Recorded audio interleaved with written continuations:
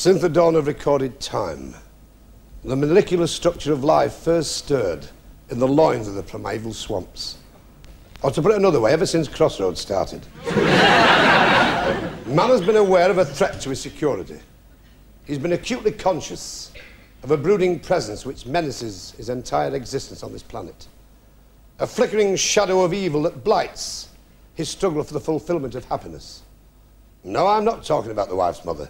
You see, tonight we talk about matters even nastier than that knee-length naked Mussolini. because tonight we talk about them, the faceless ones, who are out to destroy us all with their malignant plans and policies. Them. But don't panic, fellow Britons. Stay calm. Because at last, somebody cares about your welfare and what they're doing to your way of life. Dawson is watching.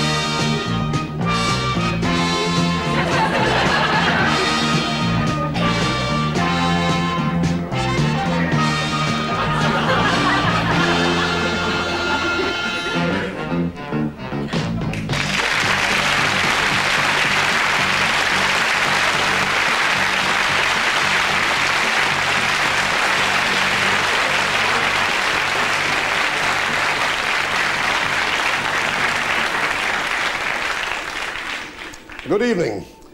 This is Dawson Control. It's from here, with the aid of this apparatus that we got from Catweazle, that we will be watching them. Just who are these enemies of mankind, you may ask yourself? Well, let's meet a representative of one of the dark forces aligned against us.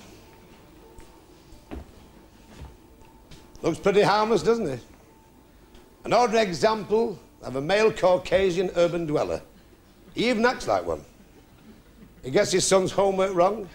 he likes a pint with the lads. His wife develops migraine and backache when he feels frisky. he forgets birthdays and anniversaries. He cheats at golf and would cheerfully throttle a traffic warden with a VAT form. On the surface, he appears to be the average man in the street, harassed, but he isn't. Because, ladies and gentlemen, he is an alien. One of the worst kind. Dedicated to bringing you to your knees. You see, he is an estate agent.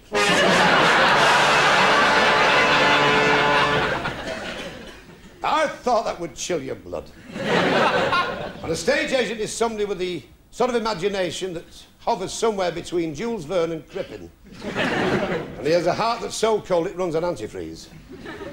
He plays an important role in this indictment because tonight the subject is houses. Now, most of us yearn for a house of our own, a material dream to cherish, to build on, a nest in which to raise the fledglings of the future family dynasty, a sanctuary against a quite often hostile world. It seems a simple desire, doesn't it? But getting it is quite a different matter. In fact, it's about as easy as a tailor trying to measure Magnus Pyke for a suit.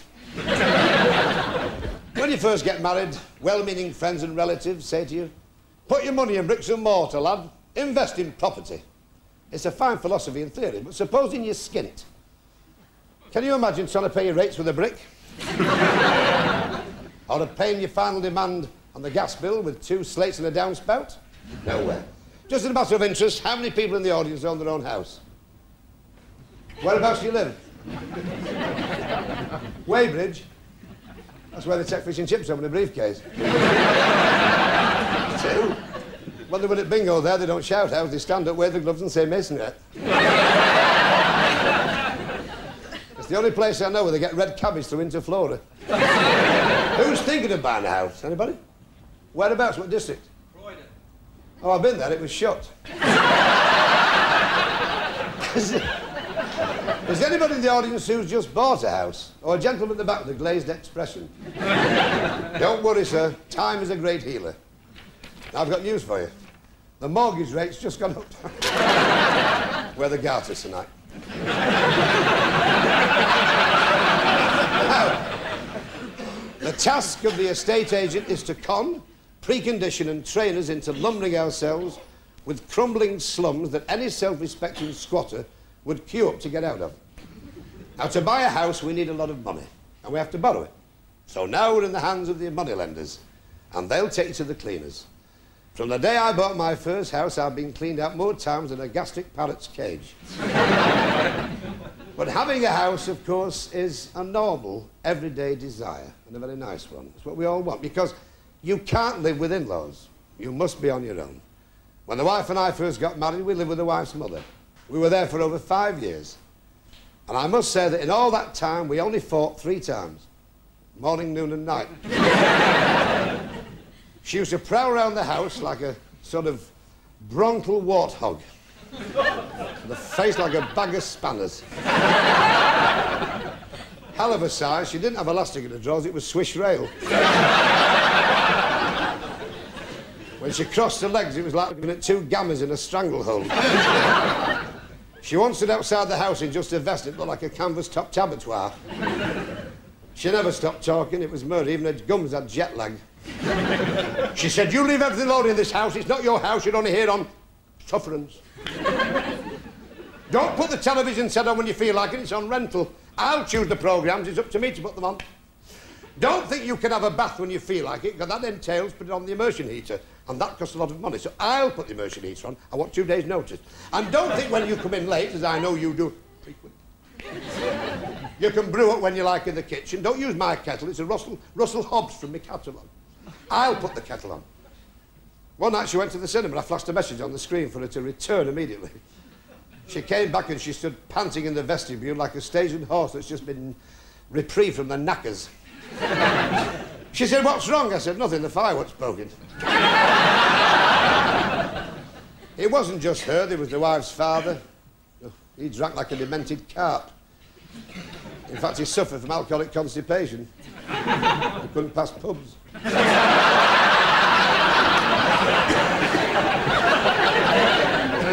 also in that hideous menage, there were the two, the wife's two eldest sisters.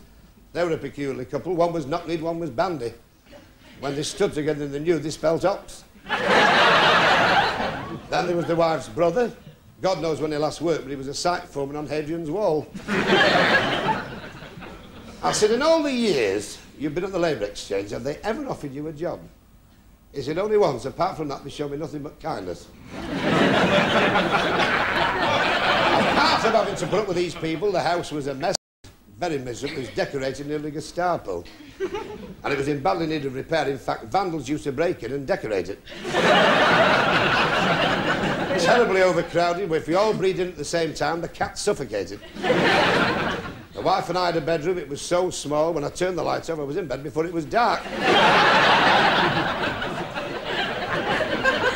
fact, at the finish, I thought sitting down was something rich people did. But at least we had shelter. Because despite the fact that we live in a highly complex and technical civilization, statistics prove that the increase in homeless families is quite alarming. Did you know, for instance, that a lot of people are actually having to live in abandoned cars? And what hurts me so much is that most cars in this country are Japanese, so the chances are that they're paying rates to Datsun. We've been assured that there's going to be a change. Well, let's have a look.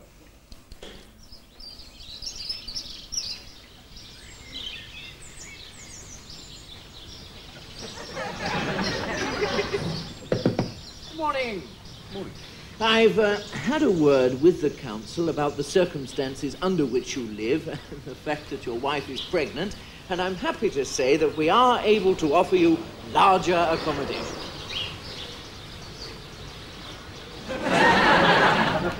Have you seen enough? What a dreadful state of affairs. But who do you turn to in times of trouble? You can't tell the government to go to hell because they're building it for us. Everybody's your own choice. My family, my wife's family, always vote Labour. They have to do. They can't spell Conservative. but when it comes to the creature comforts, politicians turn a different cloth. You may have read recently they've just spent £3,000 to install a new toilet in the House of Commons. Personally, I think it's money well spent. It's the only place where they know what they're doing.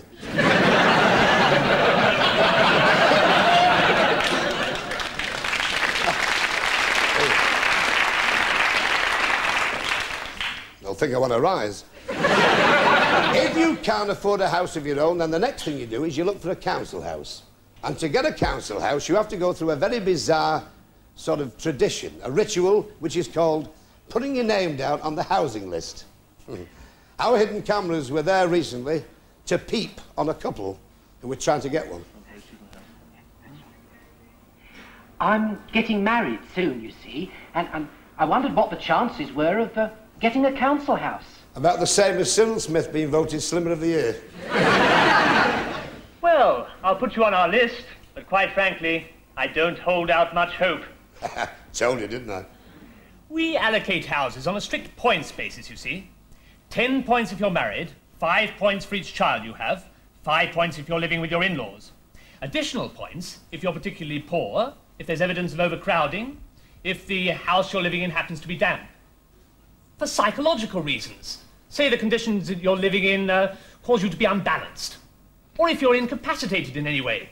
And so on and so on. So there you have it. So if you're not a destitute, one-legged maniac with 24 kids, living with your mother-in-law and Hull Kingston Rovers in a wet tent. Forget it. What I think is wrong about this system is it actively encourages to breed like rabbits. There are four ways you can raise the money. You can go through a building society. I tried this. Disaster. I said to the manager, how do I stand for a mortgage? He said, you don't. You grovel. you can get money through an insurance company. You can borrow off your local council, or you can get it by robbing a bank. And of these, robbing a bank is by far the easiest. You don't believe me, do you? You try it. Getting money out of a building society is only slightly easier than trying to win a spot the ball competition at a convention of eunuchs. Just watch this. Yes, well, that takes care of that. Now, about this house you're interested in buying, Mr. Evans, how much money do you think you'll be able to lend the Dulwich? I thought the idea was that you lent me the money. Well, yes, yes, it is. But you've got to lend it to us first, of course. Oh. You see, it works like this. Now, you deposit, say, uh, £10 a week with the Dulwich. And on this, we give you a very generous rate of interest, uh, 5%. And then when you've saved enough for a deposit, we lend it back to you for a piffling 15%. 10% more? Uh, yes, you could put it like that, yes. So what you're saying is that for every £10 I lend you, you're going to lend me nine. Oh, it's not quite as simple as that, old chap. No? no, no. What is simple, though, is for you to give me a pound every week. Oh. oh. Right. Here you are, then. Cheers, cheers. Nice doing business with you. See you next week. Oh, yes. now we understand money. Now let's try to understand estate agents. Now, estate agents are not strangers to the truth. No way, they're liars. when they say that a house is pebble dashed, what they really mean is that all the big tracks have been bunged up. Here's an example. Let's have a look at some of their little imaginative flights. Wonderful. Here's one. Let's we, all right. Cosy, delightful Swedish-style bungalow. On investigation, that turned out to be a Nissen hut near Biggin Hill. Tudor-style house with great charm and small, well-kept gardens. That turned out to be a Victorian coroner's office with a plastic wooden beam in the dinette. The garden was in a mess. In fact, the grass was so tall, every time a frog jumped, you got a double hernia. oh, they were right on one thing. The garden was small. In fact, you treated the roses for greenfly and cramp. to help you find your way through the flights of an estate agent's fevered fancy, we've computerised all their favourite phrases. Ideal for conversion. It's falling down. Free from dry rot. Full of wet rot. Split level. Subsided. Very quiet neighbours. Next door to a cemetery. Having picked your house and got the mortgage raised, you may think everything is plain sailing from now onwards. How wrong you would be. You see, before you can move in, the previous owners have got to move out. And so it goes on all along the line. It's like a, like a daisy chain. Take the case of John Ramsbottom of 24 The High Street, Mytholmroyd. Here he is on the map.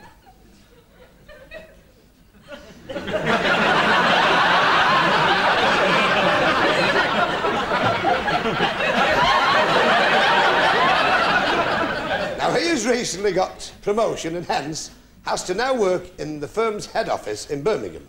So he's got another mortgage and has now agreed to buy Villen, Wood Street, Birmingham, from Mr. and Mrs. Higgins, a lovely couple of Violet and Leonard. Here they are. now, Mr. and Mrs. Higgins can't vacate Villen until their new retirement flat on the coast of Filey is vacated by the Wetherills. But the Wetherills can't move till their new house in Sutton Coldfield is free from the Johansons, who in turn can't move till the Greens can be displaced from a masonette in Waltham Abbey. Isn't this a fun-filled gobbit? But they're sitting, waiting for Miss Lena Gell to move out of her terrace in Crystal Palace. But she can't move till the Bickerstaff's moved out of number 10 Mount Nessing Road in Dives.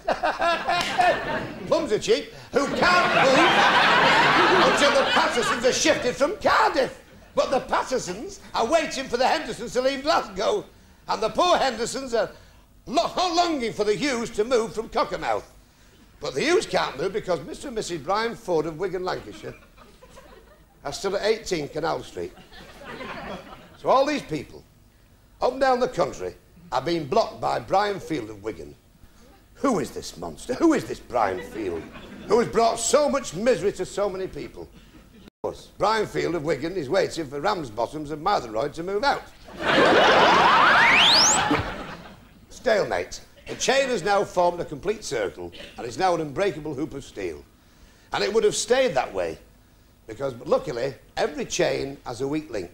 And happily for everybody, Lennon Violet passed away. and so the way was clear for every one of those poor innocents to meet yet another of them. Yes, my friends, a bland, pinstripe suited legal piranha fish who'll strip your wallet to the bone in seconds. The solicitor. Come in. Let's sit down. Ah, can I help you? I hope so. You see, I'm in the process of buying a house. No, no, no, not so fast. A messuage. A what? A messuage. I'll explain it to you in very simple terms that even a layman like you can understand. A messuage is a term for a house and its surrounding property. Oh. Messuage. Now repeat after me. Mess wage. He came in the door a man, and already he's a candidate for being potty trained. of course, it's in the legal profession's interest to make the law as complex and as boring as possible. And that way, none of us feel encouraged to try and understand it. Have you ever read any law books? It's like looking through a copy of Fanny Hill in Yiddish. but how is our subject doing? Not very well. He's just been told how long it will take. And now he's just been told how much it will cost. How much? Conveyancing is a very complicated process. Oh, Pickfords are doing the conveyancing. No, no, no. oh, never mind. I know. Perhaps I could do it myself. Are you some sort of troublemaker? Or an anarchist, perhaps? Or a Which reporter? I, I only wondered if No, you could not do it yourself. Why not? You're not clever enough, that's why, though. Only clever people can do conveyancing. You have to take an abstract of title, then make a search of the land register going back 15 years to check for any encumbrances, and before negotiating the exchange of contracts and securing completion of the messuage. You understand all that? Well, nearly. I bet you don't know what the 1925 Sale of Land Act says, or the Law of Property 1964, or the result of Smith versus Mansai, or Harris v. Batty. I could look them up. What's an ultra vires rule? Or a quasi easement? Or a curtilage? No, it's not a lump of gristle in the middle of your knee. Do you know what a remainder man is? Or a testator? Or an escrow? No. Well, there you are, you see. How on earth can you do your own conveyancing if you don't know what an escrow is? I suppose you're right. What is an escrow? Well, it's uh, very difficult to explain. and we don't want to waste my time and uh, your money, do we? What a liar. Do you know what his motto is? Don't put off tomorrow what you can do next year. But at least the client has the consolation to know that by the time he gets his own new house, it'll probably be a building of historical interest. Hang on, here's another one. Sit down. Ah, now let's see. It's 16 Acacia Avenue, isn't it? Yeah, so we searched through the records and, uh, Well, what is it? What did you find? well, it's all to do with King Harold, I'm afraid. You see, an ancient statute gives anyone of Saxon ancestry a right of way across your land. Eh? So almost anybody in this country can drive a herd of cattle right across your garden. Great. Well, what do I do then? Well, if that should happen, sir, I suggest you give us a ring. Give him a ring, that's a gag. That'll put another quid on the bill. You are not allowed to sell the house to a person with more than two F's in their name, nor sell oranges on a Sunday. And if a traveller knocks on your door, you must give him a glass of mead. Bloody hell.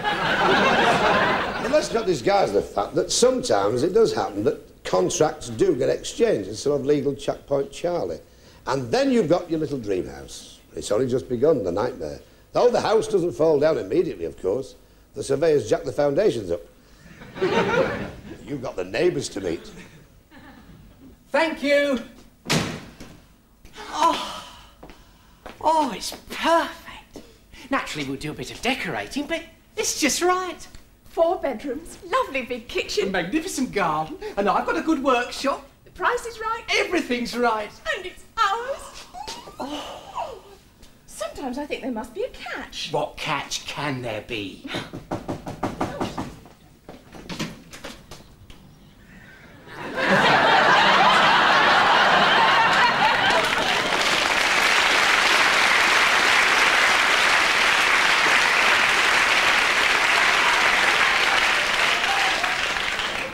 See they took the shag pile.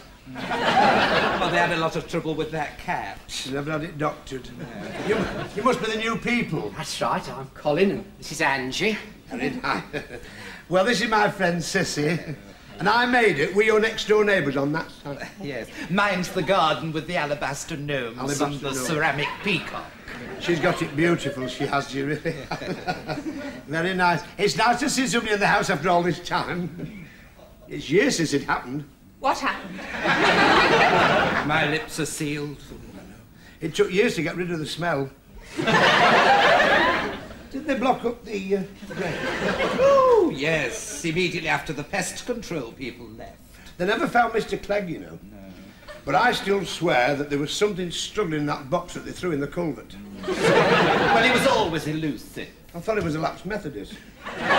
But you know, sometimes, Ada, you're pig ignorant. That's very nice of you to do, people, I must say. well, most, well, I'm sure you'll be very happy here if you're not psychic. And if there's anything at all you want, Oh, anything. just speak up. We're always listening. I mean, available. Not like some I could mention. That one. Uh, next door, the other side. Ten pounds worth of Marks and Spencer seconds, and she thinks she's Lady Muck. I know for a fact she's been bringing home Woolworths lampshades in a Harrods bag. No. Don't I know that one? and she's not averse to knocking on your door and asking for half a pound of centre pods. She's not very regular. Had a lot of trouble, you know, ever since her husband died. Lovely man, a wonderful fellow. He just sat up in the bed and said, We'll always be sweethearts, and went black. I was sat there looking after the parrot, you know. I was sat there. I was having a glass of Nesquik and a Devonshire split. He stood there with an open to see him go. Mind you, mind you, she's not as bad as him. Oh. And with that chainsaw. Oh, He's always waving it about, you oh, know. Mind you, I think he's, I think he's a bit strange. think he's a bit of it. Yes. I do. Since he's been inside, the scout meetings have dropped off. Well, they had to draw a veil over the choir trip, you know. But the cadet never gave evidence against that masked alderman, Nacton. That was one thing about it. Mind you, he's had a lot of funny problems, that man. He was never the same after his friend ran away with that woman in from number 32 in the wheelchair. Ah, it was sad. She's a lovely woman, wasn't she, Mavis? oh, incidentally, be careful what you hang out. What? On the washing line, it's him at 29. I didn't know it. He hasn't been pinching any of yours, has he? no, he doesn't go in for turquoise. That's that Latvian emigre, Vic, from number 29. He's the one. Mind you, I blame his wife for the conditions in it, you know what I mean? After all, a man's entitled to a little bit of... oh, he's not had his leg over for years. Nothing.